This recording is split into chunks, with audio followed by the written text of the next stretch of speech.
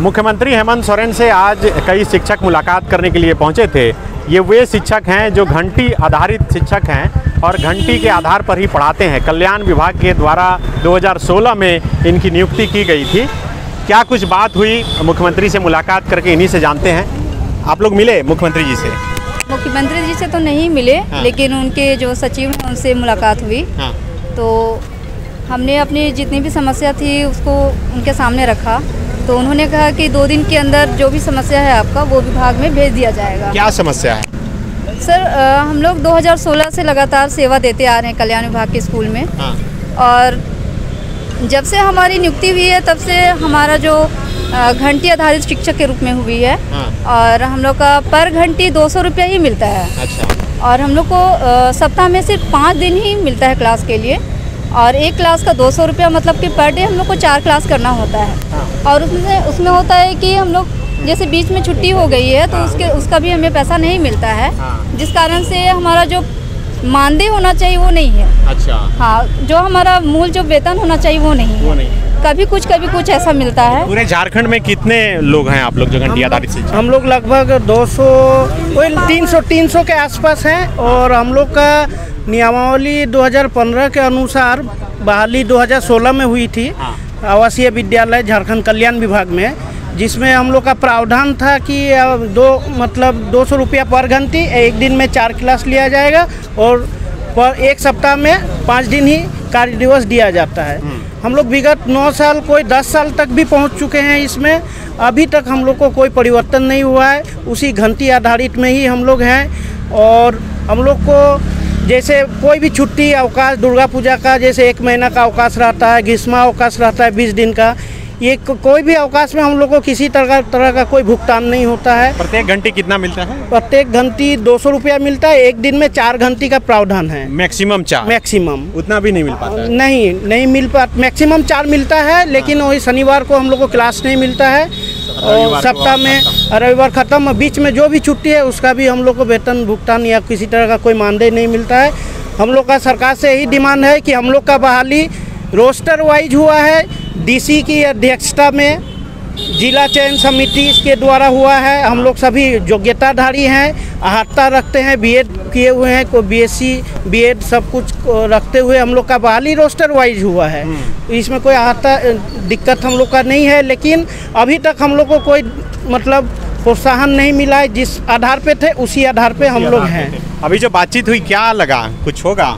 Sir वो आश्वासन तो दिए हैं कि दो दिन में हम लोग विभाग में भेजेंगे ऑर्डर हाँ।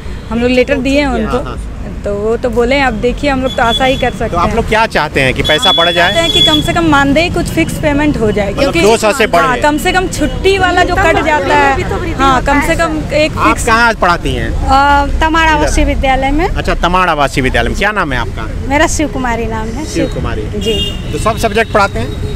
हम लोग सबका स्पेशल सबका एक सब्जेक्ट अच्छा, है हाई हाई स्कूल में। हाई स्कूल में। तो एक मतलब मजदूर का भी न्यूनतम मजदूरी में जैसे कि वृद्धि होता है हाँ। तो हम लोग मतलब मतलब मनरेगा मजदूरी से भी कम है। कम है यही कहना है तो उसमें इतने सालों से एक ही मतलब तो उसमें तो कुछ तो वृद्धि मतलब कि अभी अपरिहार्य है मतलब वो होना ही चाहिए हर किसी के साथ। क्या छूट गया बोलिए। सर अब बोलना चाह रहे हैं कि हम लोग जिस विभाग में अभी घंटी आधारित है इसी विभाग में हम ही लोग के जैसे बहुत सारे टीचर पहले बहाली हुआ था पहाड़िया में। उनको सर सैंतालीस हज़ार के आसपास अभी मानदेय मिल रहा है और एक दि, सॉरी दिवाकालीन में जो है उनको सैंतालीस हज़ार मानदेय मिल रहा है और पहाड़िया विभाग में जो है उनको सात हज़ार मानदेय पहुँच चुका है। लेकिन हम लोग को दस साल में कोई भी कोई परिवर्तन नहीं हुआ है इसलिए हम लोग सरकार से मतलब निष्ठापूर्वक मांग रखते हैं कि हम लोग को एक निश्चित मानदेय पहाड़िया या दिवाकालीन के तर्ज पे हम लोग को दिया जाए, जिससे हम लोग आगे अपना जीवन पोषण को अच्छा से चला सके और ध्यानपूर्वक तरीके से हम लोग पढ़ाई को कर सके। क्योंकि हम लोग जिस विभाग में पढ़ा पढ़ा रहे हैं, वे आदिवासी, पिछड़े वर्ग के बच्चे पढ़ते हैं। जिस समय हम लोग घुसे थे, उस समय स्थिति बहुत ही खराब था। हम लोग ने सालों दर मेहनत करके हम लोग का परिणाम रिज़ल्ट में दिखता है।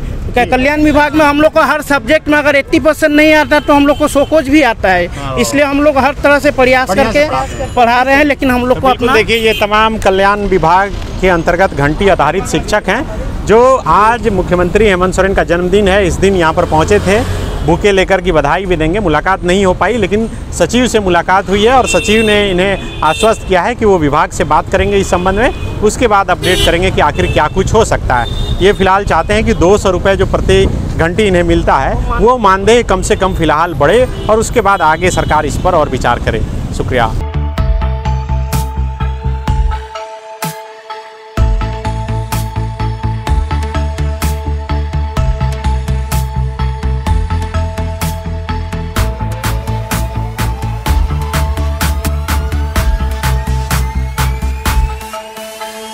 बायोम मेडिकल प्रिपरेशन का एकमात्र संस्थान जहाँ है complete digital classrooms, individual doubt counters, video lectures, student tracking system, library facility, 100% result oriented rankers batch, study package and class notes in PDF The followup.in.